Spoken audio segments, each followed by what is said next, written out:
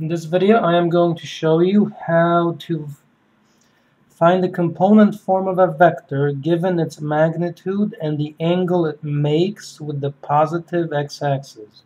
So again this is a common exercise in many calculus books and even trigonometry and anywhere you encounter vectors, pre-calculus and so on.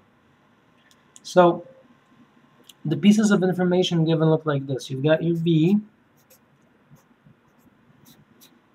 Okay, this is the magnitude, and you're told that that is, for example, 3. And you're told an angle such as theta equals 0 degrees. And we want to express this vector in component form. So what this means is the following. We will take V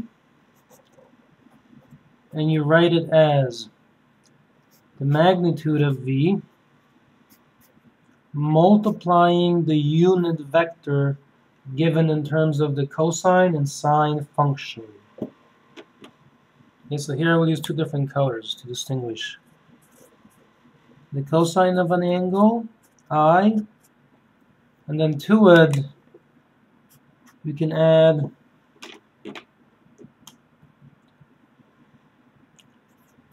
the sine of an angle with the j there. So this vector v is expressible as its magnitude, which is given, times this unit vector in the same direction. So let's apply this to this specific exercise so you can see it in practice. It's one thing always to talk in general terms, but another to know how to solve specific problems. So in this case, this is what we are going to do. You take your 3 here,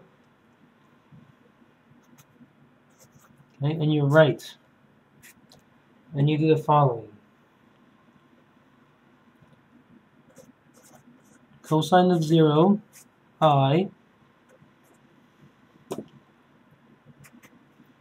plus sine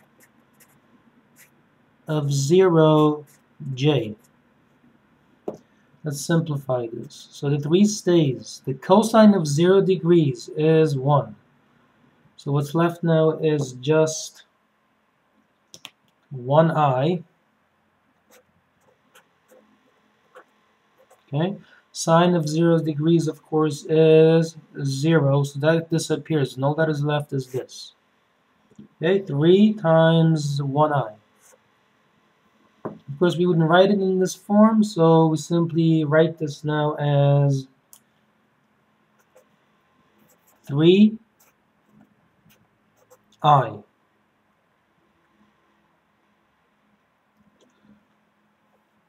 So let's take a look at another example. Although these are fairly mechanical and routine, it's still best to practice several and of course, you have to understand how to use the unit circle to get the values of the cosine and sine functions from it. Let's say, let's take a look at another example. Say now you're given this following. Now the magnitude of V is given to you, and it's set equal to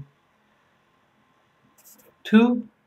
And the angle theta is 150 degrees. Huh? So to express V now, using this concept, okay, its magnitude multiplying a unit vector in the same direction, you do the following. V equals its magnitude, which is 2, and this multiplies the unit vector in the same direction, so that will look like this cosine of 150, and that is your i, plus the sine of 150, and that is your j. So now we evaluate the cosine and sine of 150 respectively. So those values are the following. Let me replace them. We got your 2 and a cosine of 150 is negative root of 3 over 2, and that is i.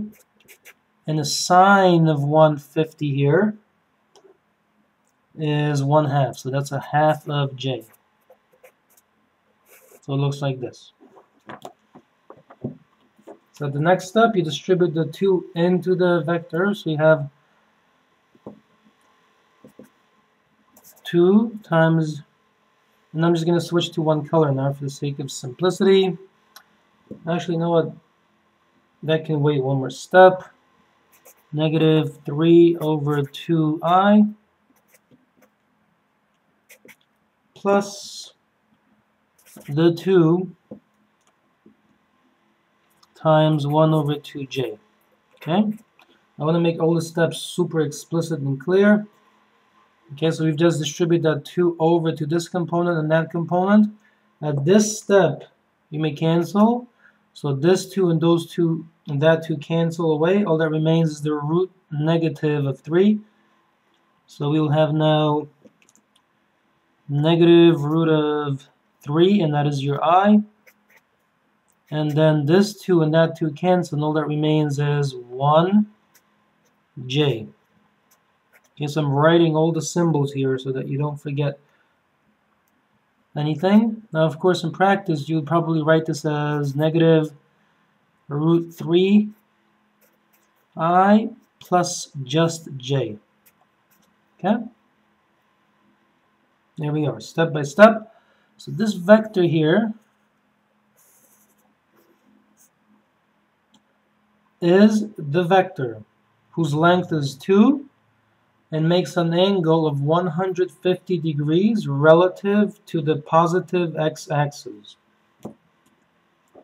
So if we were to draw a little coordinate system, we could illustrate, for example, this one over here, that's 3i. So that's your 1, 2, 3, okay? So this vector is an arrow of length 3 along the x-axis, like this. Yeah, there's your 3i. This one looks a little different. Once again, draw a little coordinate system. The x component is uh, negative root 3. So roughly that, that's uh, 1j. So maybe what we have is this. Okay, this is our vector right here. And it makes an angle of 150 degrees with the positive x-axis. There you go. So this is how you express a vector when you are given its magnitude and an angle that it makes. You use the cosine and sine functions and you multiply by the magnitude.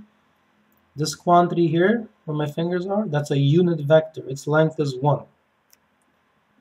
You plug in for the angle, find the values of the function from the unit circle, simplify. Same procedure here, step by step by step. And that's it. Thank you for watching.